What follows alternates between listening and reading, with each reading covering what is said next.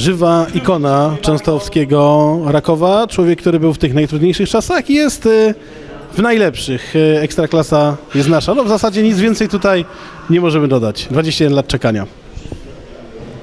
No nic dodać, nic dodać, nic ująć. E, tak jak mówię, jeszcze niedaleka przeszłość, bo 10 lat temu, kiedy tak naprawdę ja nie wiedziałem, czy za miesiąc będzie klub, czy tego klubu nie będzie. Dzisiaj chciałem z okazji tego awansu, z okazji tego wspaniałego dnia, jednak wspomnieć o ludziach, których dzisiaj nie ma, natomiast y, oni byli wtedy, 10 lat temu, 9-8 lat temu i dzisiaj podejrzewam, nas by tu dzisiaj nie było, gdyby nie właśnie mm, heroiczna walka tych ludzi o, o ten klub, o byt tego klubu, żeby ten klub mm, nie został zmazany z mapy polskiego piłkarstwa.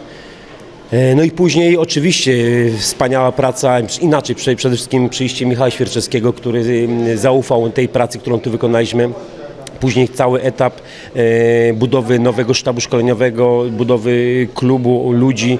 Naprawdę w ciągu tych ostatnich 6-7 lat, ostatnich pięciu myślę, zbudował się kapitalny zespół i tu w klubie organizacyjny. Już nie wspomnę o tym, co zrobiła szatnia, trenerzy i tu wielki szacun, pokłon dla trenera Marka, który zrobił kapitalną pracę w ostatnich latach. E, Brawo dla drużyny, brawo dla Michała Świerczewskiego, brawo dla, dla wszystkich ludzi, którzy pracują w klubie. Natomiast Brawa przede wszystkim dla Krzy- Krzyśka Kołaczyka, bo taka ciekawa rzecz, że jechałem w sobotę przez Kromołów, napisałem Krzyśkowi SMS-a. Ja sobie zdałem sprawę, że osobą, która najwięcej przeszła z osób, które są w Rakowie, z tym klubem, jakby i najbardziej potrafi docenić, co tu się stało, to jest Krzysiek Kołaczyk. I nikt tego nie doceni, tak jak on.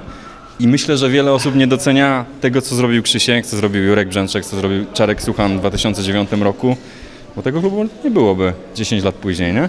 Ja pamiętając tę czwartą ligę, jak już sobie tak rozmawiamy w trójkę, no mogę chyba tylko to potwierdzić. Krzyśka pamiętam zawsze, będąc gdzieś tam na trybunach, chodząc jako kibic e, na mecze gdzieś tam kilkanaście lat temu i później jak Raków wchodził w klubie biznesu cały czas przy Rakowie. To, to nie jest sztuczne, to nie jest spompowane. Powiem Ci Mariusz, że nikt nie oddał tyle czasu swojego i energii dla, jak sobie nazwaliśmy wtedy, nowego Rakowa, jak Krzysztof Kołaczyk. Kropka. Znaczy to jeszcze musisz to skomentować. Filip, bardzo Ci dziękuję. Na- Natomiast y, no, ja się z Filipem zgodzę w 100% to, co wspomniałem na początku. Jurek Brzęczyk, Czarek Suchan, Grzesiek Lelonek, y, Zosia Matusz, której nie ma. Ja, ja, ja będę chciał delikatnie mówić o tym później, po tym, co się stało, bo do tej pory tak nie chciałem przed tym awansem wspominać. Natomiast o tych ludziach trzeba pamiętać. Ci ludzie byli tutaj wtedy, kiedy ten klub najbardziej ich potrzebował. Ale oczywiście ludzi, którzy do, w tej ostatnich pięciu latach doprowadzili do tego, że zbudowaliśmy tak silną drużynę, tak silny zespół tutaj w tym pokoju pracujących ludzi. E, To już wielki szacun dla Michała Świerczewskiego, bo oni dokończyli, e, dzięki nim jakby ta praca tych ludzi wcześniej nie poszła na marne. I dziękuję im serdecznie tym wcześniej ludziom wszystkim, ale też dziękuję Michałowi, temu obecnemu sztabowi całemu tutaj w klubie, który pracuje. E, ale już ochłońmy. Awansowaliśmy, dzisiaj się cieszymy, natomiast musimy wiedzieć, że żeby to wszystko nie poszło na marne, my musimy tak zrobić, żeby Raków był w Ekstraklasie nie tylko mm, zadowolony z tego, że jest w Ekstraklasie, tylko e, naszym celem jest dalej budowa bardzo silnej drużyny i my chcemy pokazać, że w Ekstraklasie też potrafimy grać w piłkę i dajemy sobie, nie wiem ile, ale e, kilka sezonów, myślę, że jak najmniej na to, żeby... Już nie ma awansów, ale jest Liga Mistrzów, jest Liga Europy. A dlaczego nie? Oczywiście, no nie wariujmy, natomiast tak, jeśli wchodzimy do Ekstraklasy po to, żeby, ja uważam, żeby grać jak najwyżej, także jeśli będziemy grać jak najwyżej, to i może ta liga, o której wspomniałeś, będzie naszym osiągnięciem kiedyś. Krzysztof, i tak na koniec, y, jednym zdaniem. Wolisz takie awanse jak dzisiaj?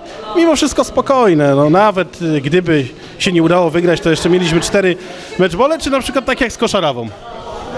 Znaczy nie, no ja, ja wiem, to, to jest inna, inny, inny ten moment de facto, to jest inaczej troszkę, natomiast e, radość jest ta sama, efekt jest ten sam, natomiast no na pewno, ja pamiętam Koszarawę, to jest nieprawdopodobne, klęczeliśmy tu przy ławce, modliliśmy się przy karnych, a w momencie, kiedy y, okazało się, że my awansujemy, ja miałem ile? 8 metrów do linii autowej, bo w, w, dogrywce, do, w dogrywce zostałem zmieniony, z kurczem już złapały, nie mogłem grać, natomiast Bo ty wtedy jeszcze byłeś z perspektywy boiska. tak, tak, ja byłem zawodnikiem i miałem 8, mi- ile, 8 metrów do linii autowej i w momencie, kiedy ostatni karny jesteśmy my, awansowaliśmy, nie, nie, do, nie dobiegłem do linii, nie miałem już koszulki i, i praktycznie nie miałem spodenek. W ostatniej chwili wciągnąłem, także to była emocja niesamowita, ale to tak jak mówimy, to do ostatniej sekundy się działo. Dzisiaj już jakby troszkę spokojniej patrzyliśmy na to, ale ja się, ja czekałem cały czas, bo widziałem, że po tej Lechii Gdańsk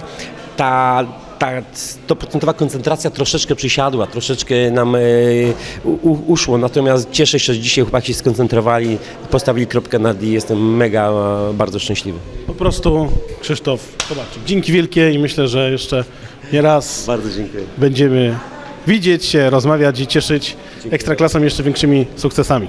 Dziękuję bardzo, bądźcie z nami zawsze.